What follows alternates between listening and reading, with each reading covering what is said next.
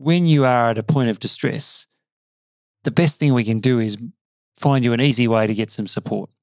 Now, that can actually be from a friend who's a good listener and a bit, a bit of a wise ear through to some sort of professional support. But I think we can prevent people moving up the distress spectrum through accessibility.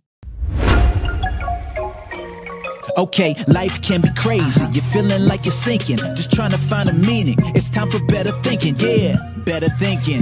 Time to tune in. Let's go. So happy to have been given the opportunity to interview Minister Shane Rattenbury on this podcast. He's the mental health minister of the ACT, and we talk about how he manages his own mental health, stigma in mental health in the community, how we can go out and improve accessibility for anyone going out and having difficulties in that mental health world, and also links between the environment and mental health. I'm sure you're going to really love this one. I certainly did. And make sure if you haven't subscribed yet, do so. It's a great honour for this episode of Better Thinking podcast to have Shane Rattenbury or Minister Shane Rattenbury, who uh, looks after the ACT mental health portfolio.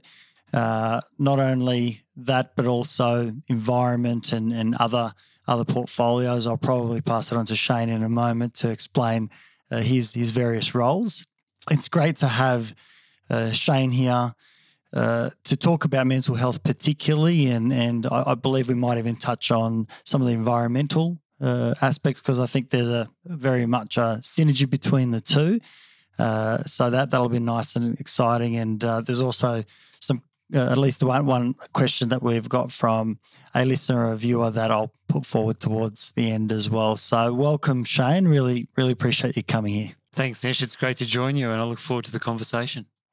Lovely. Let let's let's just get started. Maybe you can tell us. Maybe we start with how you got into, um, you know, maybe politics, so, so to speak, and also this portfolio around mental health. What what what drives you? What, what what's got you into this role? I think the big picture answer on getting into politics was I, I describe myself as a child of the eighties. I grew up in a time when there was some really major environmental issues being prosecuted, uh, uh, protecting Antarctica from mining, the issue of whaling in the southern oceans big forest battles in Australia to protect our native forests. These things were going on in my teenage years, which is, I think, a time when a lot of your values and your political uh, views, I suppose, get shaped. And so for me, that was a big thing. And that got me into environmentalism, which has ultimately led me to being involved in green politics. So that's the sort of the big picture of it. The mental health portfolio has come about relatively recently. My background is I just studied economics and law at uni. I then worked for Greenpeace for many years on environmental campaigns, uh, both here in Australia and overseas. When I got into politics, I came because things like climate change were my passion, mm. wanting to protect the environment. And then in the city context, having good public transport, all those environmental kind of questions. But mental health is one of those things that emerged in just in the course of being in politics. And after the last election, I had a conversation with the chief minister and we discussed having a dedicated mental health portfolio. The ACT had not had that before. And we formed a view this would be a good thing to do. Historically, it sat in the health portfolio. And of course, the health portfolio is enormous. Uh, and there are many pressures there. And I think also having mental health in the health portfolio necessarily puts a clinical perspective on it. And we wanted to build an agenda around mental health that is much broader, recognizing that you know, in people's mental well-being and how we promote that and help it it's a, a, discussion much broader than the purely clinical bit of the mental health uh, continuum or spectrum, depending on how you describe it. So, and that's the agenda I've brought to the portfolio. So, I was pretty honoured to be the first mental health minister. It's it's been a big challenge. It's been a steep learning curve for me because it's not my professional background. But people have been very generous in telling me their stories and sharing their experiences, and it's it's. I think we've started to make some really good progress in the space. Wow, that that I, I didn't realize that uh, even being in the industry, that this is the first time we've actually had a specific mental health uh, uh, minister, and I love I love the idea of taking it out of the health portfolio and giving it its own because um, it puts it on the agenda. It becomes you know an, an awareness topic. Uh, you know, in and of itself, having a minister specific to mental health yourself uh, changes what mental health is rather than just under the umbrella of all health. Um, wow, I've never never realised that, never recognised it came came from such a beautiful initiative. Yeah, and don't get me wrong, we're still very attached to health. And Sure, in saying sure. what I said, I in no way diminish the clinical role that's there, but that is not everybody's mental health experience. For many people with perhaps less acute conditions, with you know anxiety and depression, those sort of things, which don't necessarily require an inpatient admission, which is where health tends to specialise at that more acute end of the spectrum. There's a whole lot of other things we can do in uh, building people's resilience and giving them coping tools that can help them with their mental well-being, and that's the space we want to operate in as well. Mm-hmm. It's not ne- not necessarily just the umbrella of the acute, where you know, in some sense, if we look at the spread of the population, the vast majority of us are not in the acute phase. You know, we might fall into the acute phase at some point, but we live, you know, more often than not outside of that, and and prevention, well-being, you know, a, a, a promotion of good, healthy lifestyles and mental health is is is a big part of that portfolio, I suppose. You know, along with the acute, it, it changes that dynamic a bit. Yeah, and one of the things we've specifically created is the Office of Mental Health, which sits a little bit independent from government, and but it's a government agency, but they've got a remit uh, to operate right across government. And in putting the proposal to cabinet, that was a really explicit commitment we saw. Is that the office, the coordinator general of the office, has an ability to reach into every government agency and work with them and help them coordinate uh, to identify cross agency opportunities or cross agency problems. Uh, and so we've started to really engender that philosophy in government that says mental health is not just the health department's problem. Mm. You know, education obviously has a big part to play in helping kids build their uh, coping skills and resilience and the tools that they need to get through those tough moments in life or knowing who to reach out to, all of those sort of things. So that is, uh, you know, we are building that philosophy slowly but surely. It reinforces and acknowledges that mental health is in all spheres, irrespective, irrespective whether it be education or whether it be defence or you know uh, environment. Uh, you know, before the interview started, you know, we, we touched on that there are some environmental links as, as, as well. Um, and I know that's your you know first passion, so so to speak. Uh, could you talk a little bit about uh, some of the connections around mental health and, and, and the environment being that, that they're, they're two sort of um, roles that you kind of you know hold simultaneously. I think there's a couple of really interesting threads in the in the crossover between mental health and environment. One of the interesting ones is that the natural environment is a, such a a wonderful thing for our mental health. Simply getting out there, being in nature, having those opportunities to, I guess, just treat your soul a little bit Mm. with the wonders of nature is fantastic for our mental health. I've heard stories that in some parts of the world, uh, doctors are now starting to prescribe time in nature as a response to some people's mental well-being concerns. You know, and I think this is. I've not found an actual peer-reviewed article on that, yet, but I've sort of heard these stories in different places. So that's It, a- it actually has occurred in, uh, from my background, being a Serbian background. Um, I don't know this specifically, but I do know stories from my parents having passed it down where people who have been unwell have been told by, you know, doctors, professionals to basically go up in the hills. Usually it involves like going to a monastery or something, Mm. but it goes off in, you know, into nature and you have, you know, sleeping quarters and duties and so on. But you know, it takes those responsibilities away and you spend time, you know, in nature. And after a designated uh, um, period of time, um, they come back and, you know, more often they're not feeling quite a lot better. Um, and obviously, it's not in an acute phase where someone might be having a psychotic episode or something like that, but certainly someone who's incredibly stressed. Um, well, in actual fact, even a psychotic episode could probably uh, gain lots of benefit from that too. But someone who's highly stressed demands kind of, you know, uh, coming left, right, and center. They're pulling their hair out. To give them that opportunity um, has great merit. And if I think about it, sort of talking about it right now, we kind of do that in our acute uh, inpatient facilities where we say we're going to take you into a hospital setting we're going to take away all of your responsibilities. You don't have to go to work. You don't have to look after your kids. You don't have to worry about, you know, your financial things occurring right now because you're in here and we've got some programs, good people, staff, medication and like to, to, to assist you. And so you get hit pause for a while. So that makes a lot of sense. Uh, now, I don't know that to be to be valid whether that's actually happening and occurring anymore. Uh, but uh, it, it, makes a lot of sense. It's a grounding experience. Oh, and the nature thing is very important. I think certainly in the mental well-being space, in in a preventative sense, I speak for myself. You know, I'm a keen runner, and here in Canberra, we're very lucky. We have some great nature reserves around us, and so for me, four or five times a week, I get out for a run either around Lake Burley Griffin, or I live near Mount Majura and Mount Ainslie, and so I get up there, and you know, I go for a morning run. I'm in the bush I've got the kangaroos, I've got the birds, a beautiful sunrise, maybe an interesting fog. All of these things are going on. And for me, that's the hour each morning where I get out there and I come back, I feel more peaceful. I often have resolved some issues in my mind. And I think that that's a really important part of that sort of on the sort of low end of the spectrum of just maintaining a good mental headspace. Uh, I think those things are very valuable. And as you move up the spectrum of need, obviously that changes a bit, but there's still, I think, a really valid place for that. Those connections between, in some sense, you're describing mindfulness. If I, you know, bring it back to like some psychological terms where you're present, you're mm. kind of connected, you're grounded. When when the birds sing, you hear it. When the kangaroo, you know, pops around the corner or is, you know, under that that tree, you you observe him, witness him or her, um, and appreciate the beauty that's there. When the fog comes, you kind of recognize you know how far you can see or can't see, and and, and the beauty of the the spring or autumn, you know, morning.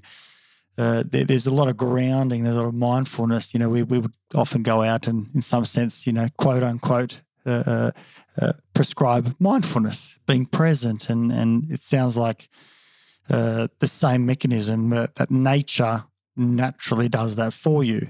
I'm assuming for others too. I, look, I imagine so, and certainly it's that in a in a modern hectic world in which there's stressors coming at us all the time, having both the enrichment that comes from the natural world, and I think also quiet time. You know, and people might find that funny if you're not into running, and some people find running a real battle. You know, uh, it can be hard work, but you know, I've been doing it long enough. I'm fit. For me, it's a it is quite a meditative and peaceful time.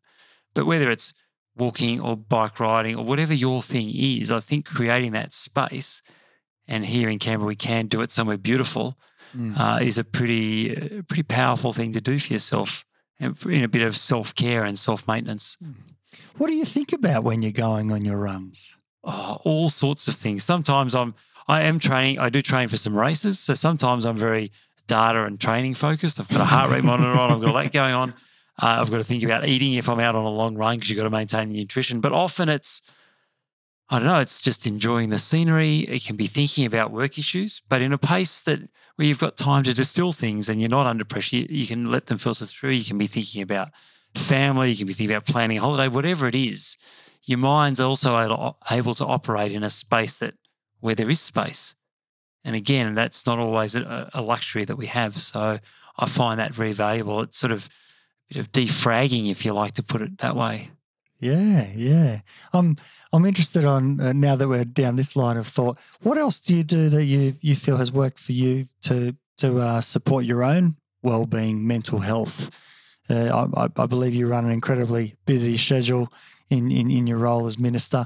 Um, you know how how do you do it yourself? Because I I think a lot of us kind of uh, are running around busy ourselves. Uh, but I think you know someone of of, of your uh, uh, in, in, your role has an incredibly busy schedule. Yeah, it is something you have to be conscious of. I think particularly when you do have a stressful life or a stressful job or the pressures of family, is to think about how you maintain your own balance. For me, I have kept doing my sport because that's something I really enjoy, and I've got some great friends in that space, and so it keeps me connected to that. Uh, but you know, I could literally work 24 hours a day. There are plenty of things to do in politics. There's always more problems to fix, but obviously you can't do that, and so you have to prioritize. And you know that comes down to there are things times you think, well, I've just got to have today off. I'm actually worn out. I feel grumpy. I feel like I'm not quite coping. And sometimes you've just got to take the space. You've got to take the space for family. And I think this You'll applies take a mental health day, probably not a whole day that often, but yeah, occasionally. afternoon or a yeah, morning. or- sometimes I'll just think, you know, I'm not going to work today. I just need a half a day off or something. I've got to, even, you know, if you're behind with life at home, it makes work really hard. And so sometimes you, you know, I've just got to allocate a couple of hours to do stuff. You've got to have time with the family. You know, I think these are rules that everyone should stick to where you've got to find that balance because otherwise the pressure starts to build up in the back of your head and things are gnawing away at you and you become just, you become less effective. So trying to find that balance, I think it's easier said than done. I'm not sure I get it right all the time, but at least I think you try and think about it and, and give yourself a chance. Otherwise, you can start to feel overwhelmed. what what makes you cognizant of that balance for, for, for you? How do you kind of become aware of it? For me, I pick it up either when I get a little bit testy, you know, and someone who asks you to do something or comes with a question and you find yourself being a bit impatient. Mhm. For me, that's always a signal. Uh, and the You're other, probably the only one, right? yeah, I'm sure, I'm sure. uh, but yeah, that's one of those things I'm self aware of because it's not the person I want to be. And when I hear myself being that person, I've learned that that is the signal that I've, I'm out of whack. And probably the other thing is, I think when you struggle to get clarity of thought, and you know, all the thoughts are jumbled in there, for me, that's another self aware sign that probably um, I've got too much going on. I've just got to slow down and reorganize myself a little bit.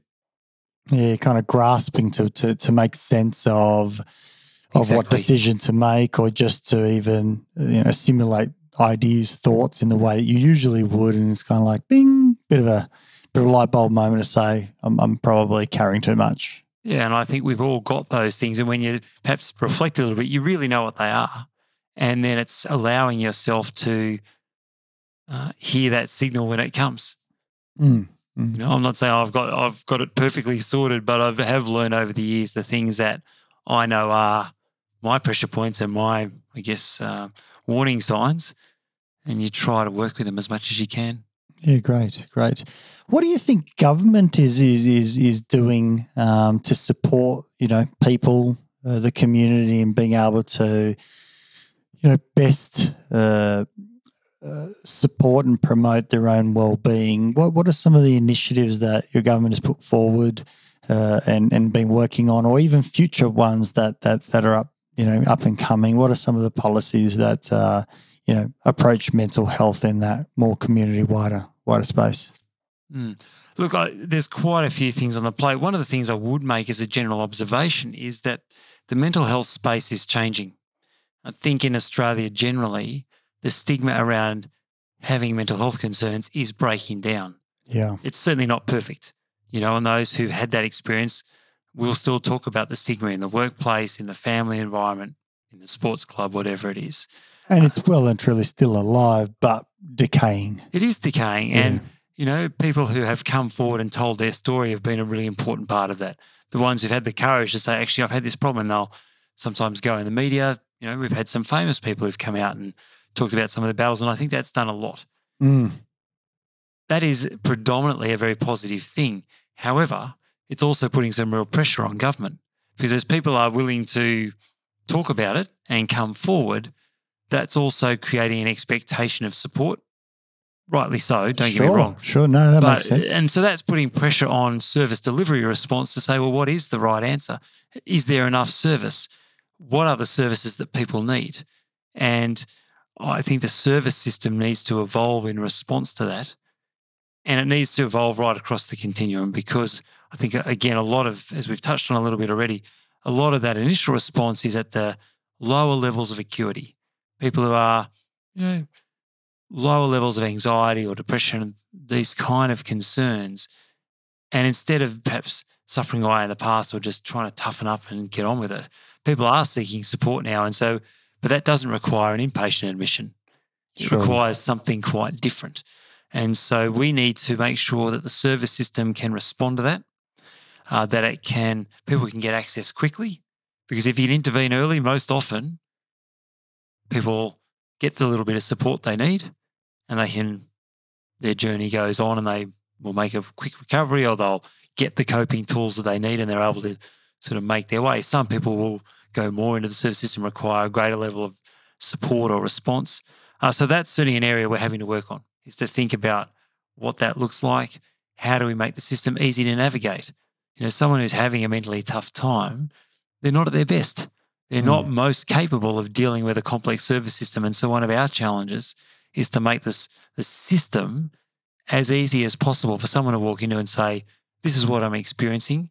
Where can I get the help that I need?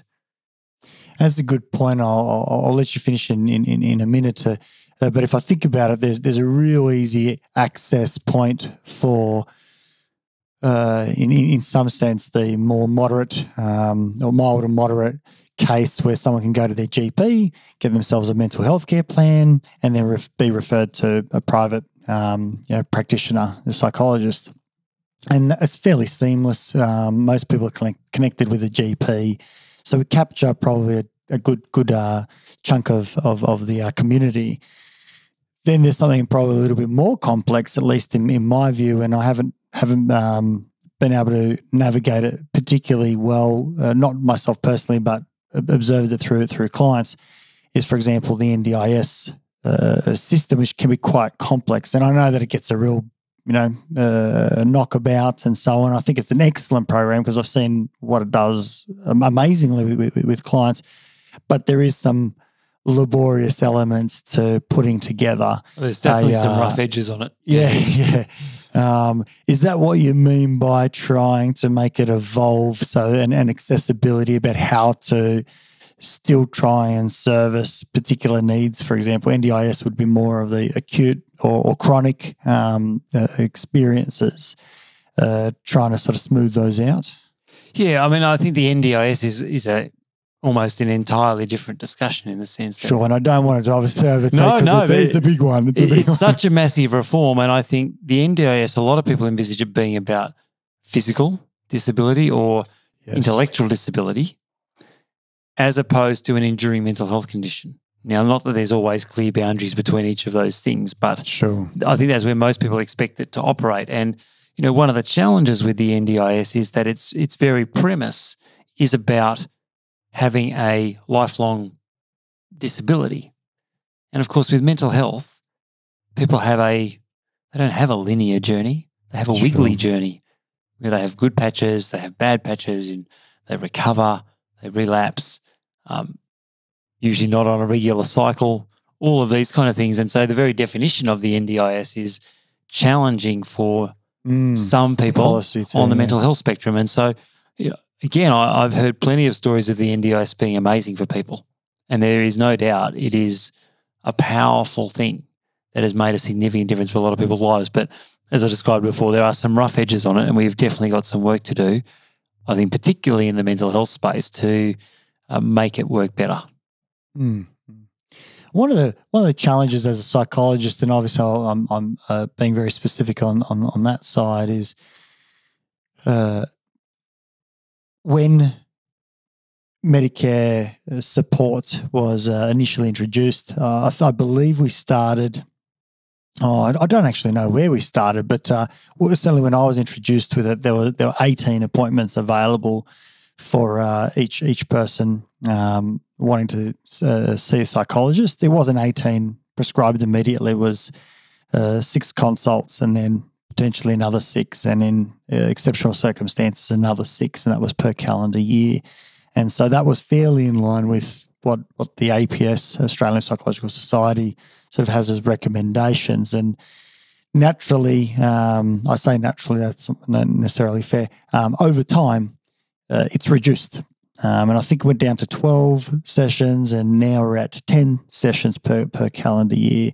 Uh, is this a juggling? I mean, I obviously don't know politics well enough, and I know I know that that, that there are big buckets, and we're trying to balance all the needs. Uh, and uh, even though this one's reduced, uh, potentially other programs have kind of you know come up to to fulfil some of those needs.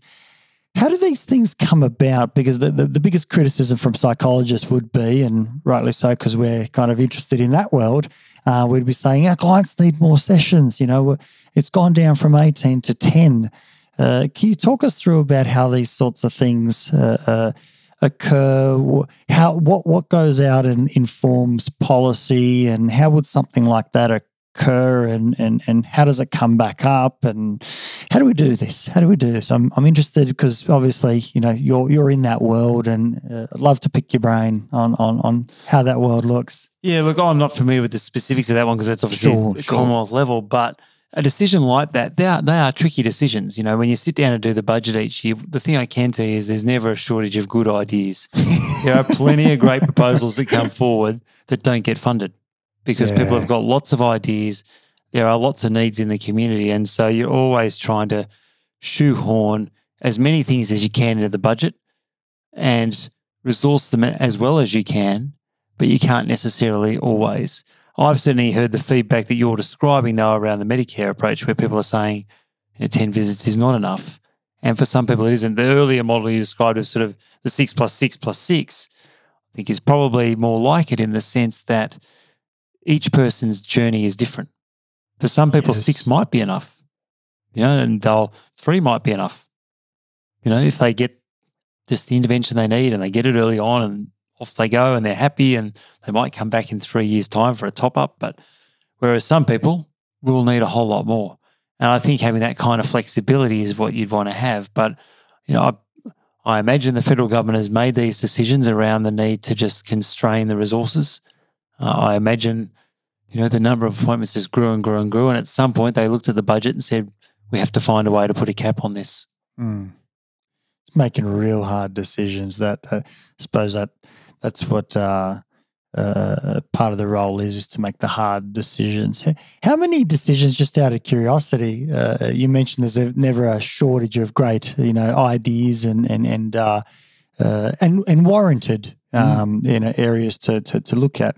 How many would you say are tabled, and and how many get get uh, uh, utilized, so so to speak, or or have to be put across for another day? Oh, look, it's that's a tricky one. If I think about our budget process, you know, without breaching too much cabinet confidence, we probably start with, you know, more than 300 budget bids coming at the start of the cycle, and probably you can end up affording less than 100 new initiatives, you know, depending Yeah. on the size of them, those kind of things. But that's just that's just that process. Then we've got the sittings of the assembly where uh, backbench members might bring things forward, petitions come in from the public, the opposition brings motions and they write letters to the government about things they want to work on. So there's just then there's what happens comes out of the media every day. I mean, you know, we live in a constant discussion of ideas. So there's that's I guess also where I come from, where you could literally do it 24 hours a day because there's always more things to think about, which is an exciting and stimulating part of the job. But it also means that at times people feel let down by politics because their idea doesn't make it. And often their idea is a really good one, but it's just in the you know in the available hours in the day and the available resources we have, just not everything gets across the line. Hmm.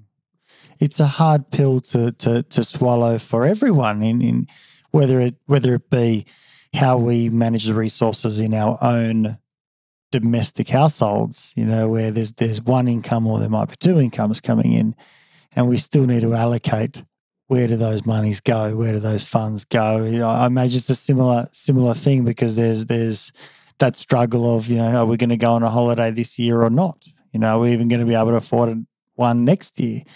You know, can we put the kids through, um, you know, to get extra training in tennis next weekend or, you know, the school term finishes or whatever it might be? And sometimes the answer is no, we can't afford to. And uh, even tougher decisions, you know, do I seek an, another appointment with a psychologist or do I have to spend the money on something else?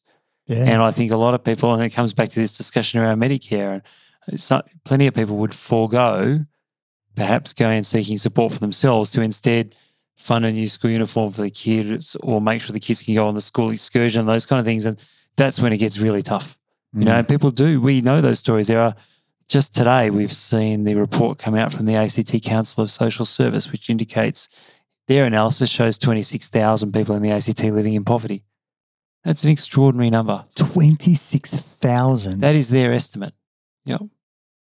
And, you know, I haven't had a chance to look at that detailed report yet, so I can't comment on the specifics of that modelling. But, you know, I think Canberra does have that hidden uh, demographic in our city of people who struggle. you know, through unemployment, disability, being on Newstart, all of these. That, I mean, you know, Newstart is is not. No one can live on that. And so these are very real choices that some people in our community have to make. And uh, you know, when it comes to then sitting in things like budget cabinet, you're sitting there going, well, do I focus? Where do we focus? And sometimes the things that would be nice to have have to go by the wayside because there's literally desperate situations out there where you have to try and prioritize those resources. It brings a thought uh, in in terms of the the number of uh, uh, places where poverty can can come from and or, or, or um, feature in. There are some life stages that occur as as as well, and one of them being older people uh, can be in that in that group where that have their own specific mental health needs, and they're often forgotten too. Um, you know the the seniors. You know, I I actually like to refer to them as, as the wise ones because uh, in, in lots of other cultures we we actually in some sense give them the the uh, uh, opportunity to contribute more because of the wisdom, the time on, on, on earth that they've spent. There, there there's a lot of grounding um, that that kind of uh, occurs in that world, um, but sometimes they can be forgotten you know that they they almost like have a use by date so so so to speak when in actual fact you know if we look at our own parents or something they, they don't have a use by date you know they, they are just as special as they were when when they were looking after us. Yes oh i think you're right there's a there's a sense of a lot of people don't once you become old you sort of go a little bit on the scrap heap and, yeah. uh, you know, I think this plays out in many ways. I think in the workforce, we don't value older workers nearly well enough. You know, and I think we need to think about how do we reshape the workforce so that someone who is 65 or 66 but's got enormous experience, they probably don't want to work flat out 60 hours a week anymore. But hey, why don't we create a two day a week job for them where they can come in, you know, participate in strategic sessions, be a mentor, continue to do some part of a job. You know, I think we've got some work to do to to put greater value on those things. I'm really pleased. One of the things we've just done in the ACT is actually allow magistrates to become part time. And we've lifted the age they have to retire to 70. It used to be 65. And so now, someone who's perhaps been on the bench for many years and has got great experience can stay on a bit longer and perhaps specialize in a certain area or cover a certain. For me, that's a good example. We, we need to do much more of it. Um, interestingly, we've got a team working in ACT Health in the older person's mental health unit. And I went out and visited them oh, a few months ago now, and they were just telling me about the work they've done. And they were talking about how little research there is in the space of older person's mental health. And so they are doing a lot of really interesting and innovative work that they are, I don't want to say making it up as they go, because that sounds very unscientific, but they are literally having to develop new systems and think about new ways to do things because we've got this emerging space that's not very well studied. And I was really impressed by that, that you know, here in the ACT Public Service, some of our staff are just really taking that initiative and inventing new ways to do things to deal with that emerging problem that we have there. It's kind of uh, interesting that, and maybe it's just me, but uh, when, when we start thinking about you know older persons, there's almost like this undercurrent of we have to look after them, as, as as as though they can't look after themselves mm. and mm. continue to contribute and in actual fact continue to look after us. You know, I, I imagine they've got a hell of a lot to say. Um, but it's almost like this older, older person's idea. And maybe that's just me. I hope I'm, you know, it's not saying it's just enter- being entertained in my head. Um, but in actual fact, you know, it, it, it, could be kind of flipped on its head where we, we go to them um, to seek more you know, consideration because they're in a different stage of life. And therefore, I, I, imagine there has to be some greater acuity that comes with that. Maybe. And I just think at a big picture level, older life has changed. If you go back to probably our grandparents' generation, you know, you worked until you were 65 and you probably died by the time you were 70 because that was life expectancy. You had a few years at the end, whereas now life expectancy in Australia for men is what, 85 and for women is 88 or something don't quote me on the numbers, but it's that kind of ballpark. You've got a long life after your formal retirement. And so that's, yeah, 20 odd years. You can expect to live for 20 years after your formal retirement age. So what do you do with those 20 years? You know, and that's where, picking up your point, lots of older people can contribute a lot. They can actually, you know, and they are often the the real um, foundations of many volunteer organisations when you look around town. And so I think that's what uh, being old is has completely changed as well compared to certainly our grandparents' generation, uh, where they did have a very different expectation about it. Absolutely. Move, moving forward, and putting some you know hypotheticals uh, down. Um, well, not even hypotheticals. Let, let, let's go to imaginary world. If we could run some ideals, what would you what would you hope to see, whether it be here in in the ACT or you know the the the, the national sort of perspective? What would you like to see mental health look like uh, in the future? With the Office of Mental Health, one of the things we've just been doing is they've been working out sort of what our vision is for mental health services in the ACT. And we just uh, put it out last week. And for me, one of the really interesting concepts that came through in all of our community consultation from consumers, from carers, people with lived experience, service providers, the whole lot, the word kindness came through. That people who are perhaps have had mental health challenges are looking for more kindness from service providers, from their work colleagues, from their families. And I think that would be a big part of any. I don't want to sound too sort of all airy fairy about it, but kindness, I think, is a underrated quality that would make a significant contribution in this space, uh, just as a human trait. From a policy point of view, it goes back to what I was saying earlier. I want mental well-being to be seen as something that is a standard part of government policy. Uh, we've got some really interesting examples at the moment. I've just been chatting to Lifeline. They're now rolling out a program of um, uh, mental um, well-being and readiness for um, particularly their first phase is emergency services workers. So they're doing a big project with the Australian Federal Police where they're doing a lot of preventative mental health work. So they're actually, you know, giving people insights into what the warning signs are that you're starting to struggle with your mental health, what some of the tools are you can do, use to respond to that. Uh, so I think being much more in that preventative space will set us all up a lot better. You know, I think about our teenagers that are coming through now and the pressures they're under with social media, and you know, we all grow up with peer pressure, but I think it's a whole lot. No, it's a whole lot more relentless now. And so again, having our young people equipped with the skills, and I think we're doing this better you know, you go into the into schools now, and the stuff they're doing with kids is a world away from when I went to school. Uh, so I think we're getting there, but a lot of that preventative work, I think, for me, is a big part of the future of mental health policy in the ACT and in Australia generally. You mentioned kindness and, and, and then looked at policy. How would kindness kindness look like in policy?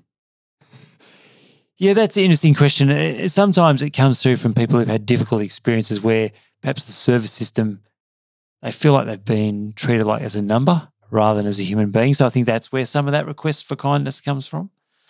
I think in other spaces it comes from when someone is on a, a difficult mental health space is to for their you know their colleagues maybe to cut them a bit of slack, to be a bit understanding, to acknowledge that someone may not be at their best or you know, maybe has let the team down a bit, but there's a good reason for it. I think that's what some other people mean by that idea of kindness. Let me put something forward because I've got your ears at the moment, right? Um, how about a world, and I'm just kind of formulating this as we go. Um, how about a world where we move away from labels of of uh, human experience like depression, anxiety, because I know that we use them quite often to try and describe people's experiences. Uh, and we move into a place where we describe what someone's actually going through. Uh, so it's more of a descriptive model uh, where service providers, consumers, loved ones talk about how someone is going in life. So an example might be rather than going out and saying someone has social anxiety, or social phobia, we might talk about Jimmy who uh, feels like what he says in his social group is not uh, uh, as well considered as what another member might go out and, and, and say, or they're not funny enough, for example, or at the thought of going out and socializing with their peers, they feel uneasy and have tightness in their chest. Um, and so when someone says, Why don't you go out and catch up with your friends? Uh, they would rather not have that tightness in their chest. Uh, in a way where we can describe and kind of care for. Um, uh, uh, and maybe making making policy in in the in light of that where we assist by talking about mental health in a descriptive model rather than going out and talking about it in a labeling model uh, uh, what are your thoughts on on that i'm not suggesting that that's the way to go um, or, or, or putting that forward as though Oh, it's a very interesting point, and I think there's some real merit in it. I, I feel like we're, I talked earlier about we're sort of on this journey of breaking down the stigma and there's an evolution going on. And, you know, if you go back 20 or 30 years ago, in my sort of youth, we didn't have any of these labels. People, were, I guess there were different labels. And, you know, they've become more defined probably going forward and more accurate, maybe. They, they, they used to be uh, the way psychologists would talk about it in so, so psychiatry, it would be I've got a 2 p.m. schizophrenic coming in. Sure, yep. Um, as though the experience was the person, you know, Yeah. so it, it kind of engulfed that, right? And now we say, uh, you know, my 2 p.m. is a person with schizophrenia or experiencing schizophrenia. And so it's evolving. Um, so it's quite interesting how, you know, now when someone hears that, oh, I've got a schizophrenic coming in, very, very harsh, right? You know, it- it's hard to hear, uh, but that's, you know, once, once what used to be. And that's something I wanted to pick up on in your comments as well is that those labels can be very defining. And I think that we also need to be really clear that even if somebody does have schizophrenia, that is not the whole of who they are. It can be more or less a degree of influences their life, but it's not it's not who they are. It's part of what they cope with and shapes them and that sort of thing. So for me, that's the real worry about the labels. Is and I think people sometimes take those labels on themselves and let it define them in ways that I think is perhaps a bit unhealthy.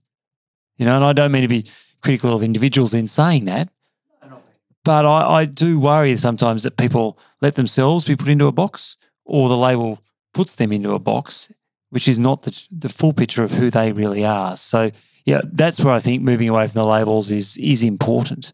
Um, and but also the other side of it is, I think the broader community understanding that if even if somebody is schizophrenic or suffers from depression or um, has bipolar disorder, again, that's that's okay. That's who they are, and that might mean you or I, as say their peers at work, need to make a little adjustment for them, need to accept something, or perhaps you know just be thoughtful about how we talk to them or things we describe to them it doesn't completely define who they are. They're still our colleague. They're still an accountant or a public servant or an or a ambulance worker or you know whatever they are. You know, and that's I think that's where we need to get to in the evolutionary process is if we sort of take it in our stride, and we're perhaps all well educated enough to know how to deal with that. I think a lot of people's poor reactions are based on either ignorance or fear. It's almost like we're at a, I don't know, let, let, let, let's say stage three, where the first stage was to go out and ignore it and, and pretend it doesn't exist, you know, deny it. And maybe stage two was to go out and somewhat label it and, and, and kind of saying this is what it is, but from a clinical level. And then maybe stage three is in the awareness campaign, which just sounds like we're at at the moment, where you know, the government's doing so much uh, work in awareness and, and breaking down that stigma. We're trying to give people language to work with, and so we're just using these the, the, these labels as a way of uh, making it okay to be experiencing life, you know, and feeling be you know be feeling depressed or anxious or uh, worried or whatever it might be. Uh, and maybe you know, the next phase will be to start dropping some of those so they don't define us, but rather they're, you know, human stages and experiences. Um, so maybe it's just the virtue of, of having to go through the phases. Oh, I think there's a lot of merit in that. And the, I think it's it's healthy. At least we're going through those phases. We're not stuck. We are making progress. I don't think we're at the right place yet, but we are getting there. And you can liken it to all other, all sorts of other examples, you know, um, where we just, you know, we gradually and slowly improve things. Um, you know, geez, only 18 months ago, did we think we'd have marriage equality in Australia? Probably not. But we, we got there, you know, and Isn't that incredible? Because we, we just made a decision uh, some time ago saying we don't want to prescribe to that. When I say we, I'm not saying the whole community, but there there was an undertaking. Yeah, there was an undertaking, certainly a majority, um, uh, to go out and say it's not okay. As a matter of fact, talking about that, I think it was in the DSM, which is Diagnostic and Statistical Manual. Um, I think it was in DSM two, um, where homosexuality was featured as a disorder. I mean, isn't that yes, yes. Um, you know, yes. voted it out as we did with marriage equality. And that's what's quite funny about rather than describing it, we label it. If we just described it as, you know, someone choosing who they want to fall in love with and deciding to commit to them for for life. Uh, but we kind of, you know, use some different interpretations. Yeah, indeed. You know, and that decision for me, that decision was really important for a lot of people's mental health. For for people in the LGBTIQ community, it broke down a whole lot of sense of discrimination for them. But you're right about how quickly that's changed. I mean, uh, Bob Brown, the founder of the Green Party in Australia, and someone who's been a mentor for me, you know, he's an openly gay man, and he talks about uh, how here in Canberra in the '60s, when he was a doctor, he was given uh, electroshock treatment to try and cure him of his You're homosexuality. Bob has been through that personally. He's a man who's still alive, who is a known public figure in Australia, and he describes that. And ECT to cure his homosexuality. That is crazy. and that was, I think he talks about that being in the in the 1960s here in Canberra Hospital.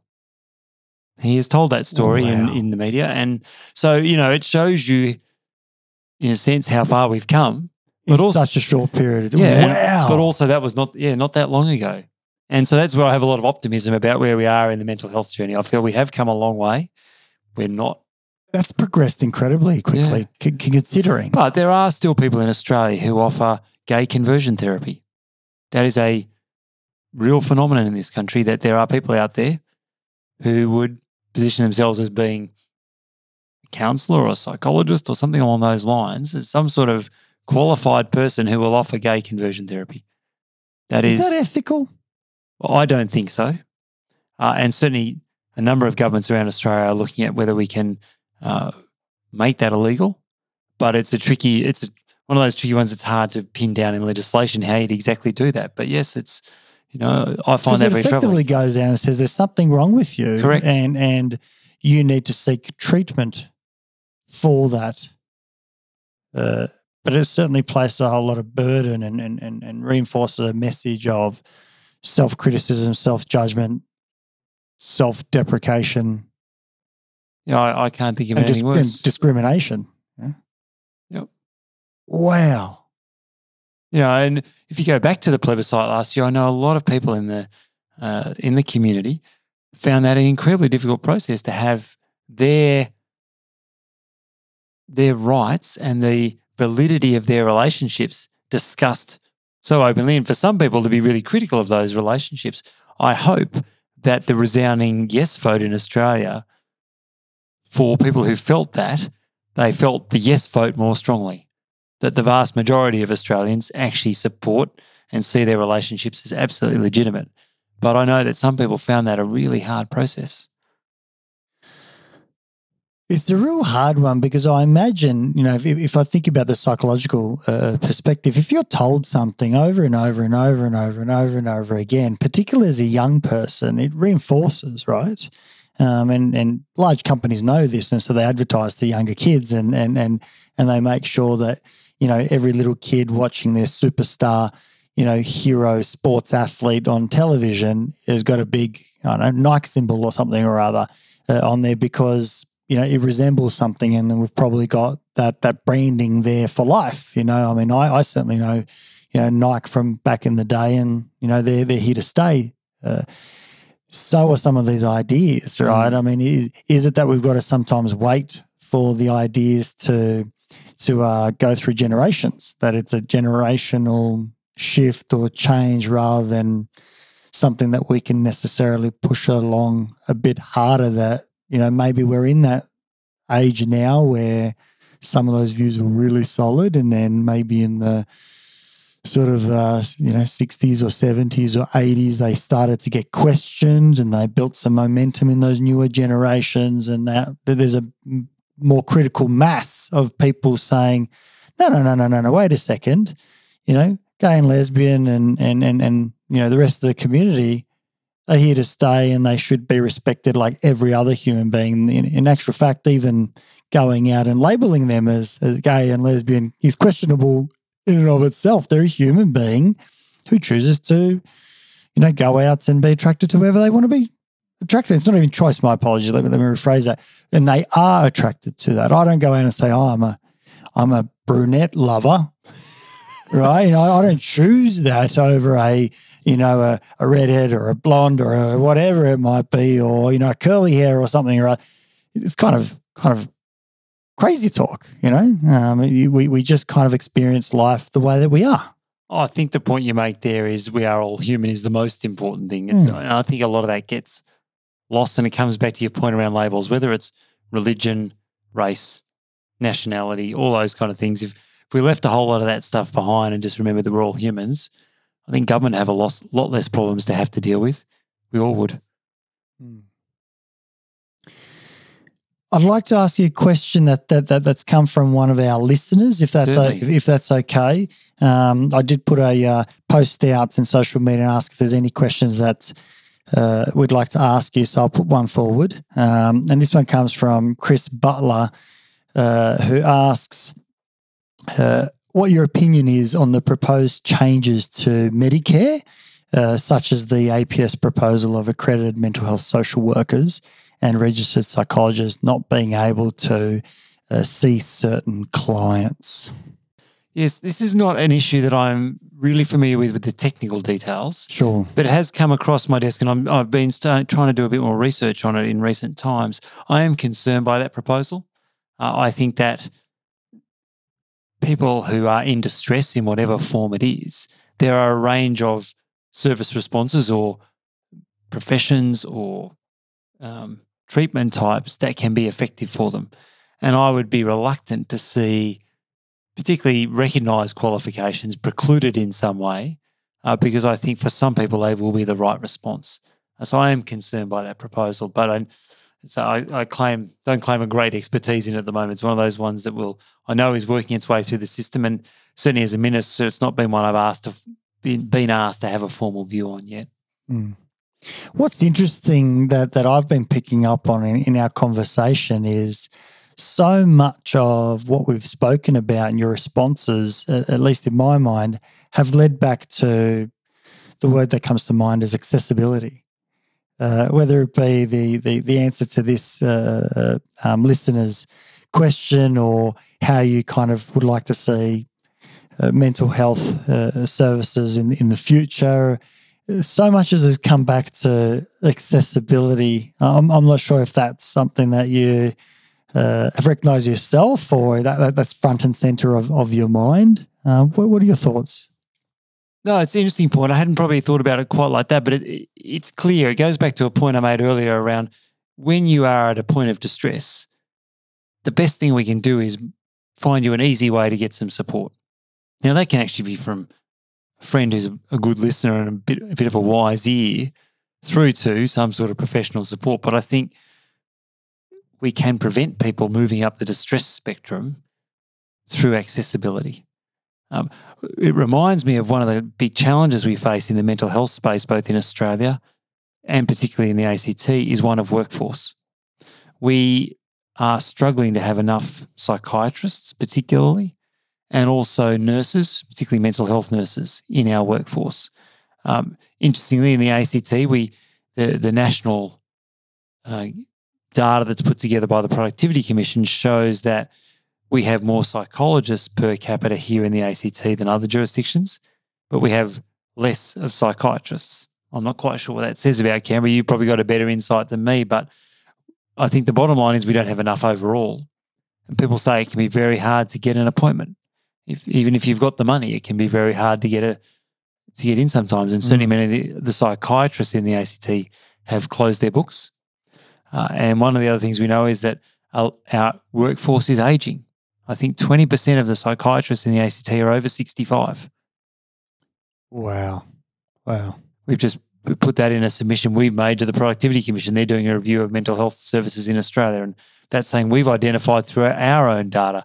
You know, that raises real questions. We need to get more people trained in this space. And uh, I'm not, I don't mean particularly psychiatrists. There's a whole spectrum of people who work across sure. the provision of mental health services, but it's an area that does need a workforce for the future. So, you know, one of the things I try to encourage people is if this is an area of interest to you, it's a great area to get involved in. You can make a real difference in people's lives. We, as government, we need to think about how we're going to encourage more people into the space. Do we need to make sure the unis are offering more places? Do we need to um, offer scholarships? Do we need to think about what the training pathway is, how the job opportunities play out? We can't just increase salaries all the time because you know there are limits on these things. So, and I I think for a in the mental health space, it's not about money for a lot of people. It's a calling more than it's a way to make a buck. And so, you know, we've got to think very carefully how do we make this a more attractive place for people to go and work because workforce is a massive issue. We can't just ship people in from overseas. Again, I think there's ethical issues around that. We shouldn't strip these people out of developing countries necessarily because those countries need those services as well. I mean, it's a it's a medical workforce issue generally, and it's particularly acute in the mental health space. I never thought about that stripping uh, the, the, the, the, brains trust from another developing you know country. Never thought of it in, in, in that way. The ethical sort of consideration that, that obviously comes from your Greens background as well. I'm, I'm, I'm assuming that, that that's the mm-hmm. way that you think. That it's a broader picture rather than oh, we need it, bring those resources here. You know, oh, we need it, just pay them more. You know, it doesn't work that way. Oh, I think it's a tricky ethical and moral question. I mean, at one level, if someone's from a developing country has worked hard and got themselves uni and got qualified and they want to come to Australia, who are we to deny them that opportunity? Yet at the same time, their home country undoubtedly needs those skills and qualifications. And so, you know, I don't think there's a black and white answer to this, but we we as a developed, rich country cannot just assume we can we can strip those resources out. Wow, I've never thought of it in that way where we're taking resources and in, in some sense stripping it from other countries. I mean, my my parents came as skilled migrants, um, and you know they are you know workhorses. They they went out and uh, like a lot of uh, migrants who are probably uh, uh, over over represented in in the, the sheer volume of hours that they put in, you know, because they came to Australia for the, the, the better life, yes, as, as, many as many do, and, and and they certainly did get that. But at the same time, those workhorses would have been really useful um, in, in in their uh, former home country, uh, which lost out. Mm. You know, they they they kind of um, you know gave them up, so so so to speak. Obviously, for the fortune of of, of my family, uh, but certainly the misfortune. When I think about it now, I've never thought of it kind of like the, that commodity was taken away. We, mm. we we mined the people and sent them overseas.